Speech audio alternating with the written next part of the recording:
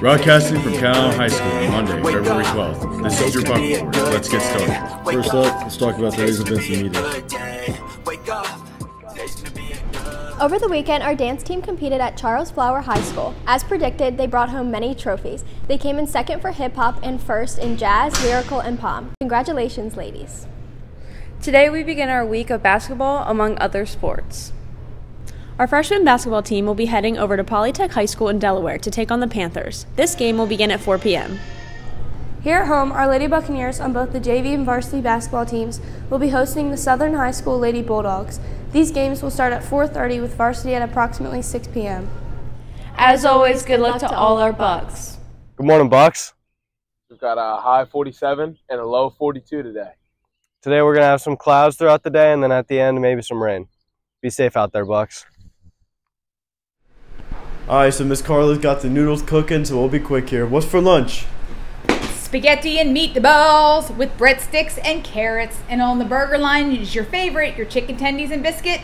And on the pizza line, sausage. Have a nice day.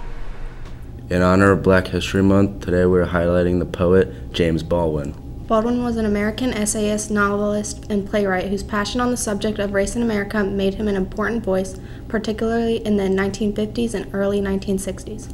His best known for writing My Father's House and Go Tell It on the Mountain, which stands as a particularly autobiographical account on his youth. You should check out Minty Kaden. Minty Kaden was a black woman from Calvert County, Maryland, born in 1785. During the War of 1812, she escaped enslavement and joined the British forces as a washerwoman for their troops.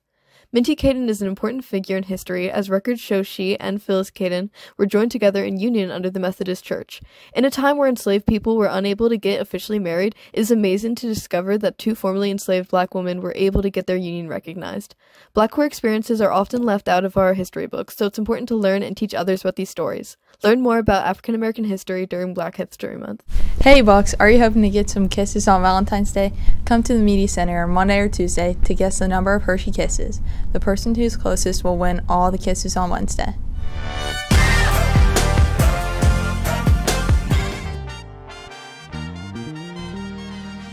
We're hosting free color guard clinics for anyone interested in doing color guard for the KHS marching band. Our first clinic is next Monday, February 12th from 6 to 8 p.m. and we're going to meet in the band room. Email Miss Scully with the link down below for more information. The Interact Club will be meeting directly after school today in Portable 3. We will be signing up for more volunteer opportunities and need to display our lunch and serve items. For questions, please contact Mrs. Phelps. And now for a look ahead.